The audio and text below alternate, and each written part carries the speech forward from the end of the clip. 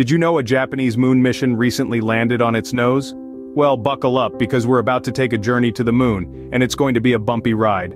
Just recently, the Tokyo-based company ispace made headlines when its lunar lander, the Hakuto RM-1, attempted to make a soft landing on the moon. But instead of the graceful touchdown they'd planned, it appears the lander may have crash-landed, losing communication in the process. This would have been the first private moon landing, but landing on the moon is no easy feat.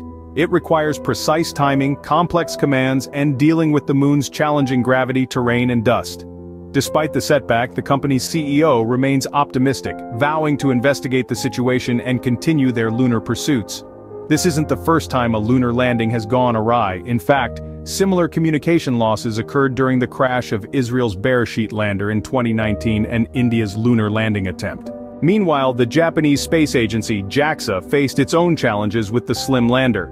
During what was to be a historic touchdown on the lunar surface, the lander rotated 90 degrees from its intended position, affecting its ability to generate electricity. Despite this, JAXA achieved a soft touchdown on the moon becoming the fifth national space agency to do so. So, what's the takeaway from all this? Landing on the moon is a complex and challenging task, even for the most advanced space agencies and private companies. But despite the obstacles, the determination to explore and understand our lunar neighbor remains undeterred. Whether it's a private company aiming to make history or a national space agency pushing the boundaries of what's possible, our journey to the moon is far from over. In summary, iSpace's lunar lander may have crash-landed on the moon, marking one of the many challenges faced in lunar exploration. Meanwhile, JAXA's slim lander, despite landing on its nose, achieved a soft touchdown, furthering our understanding of precision navigation technologies.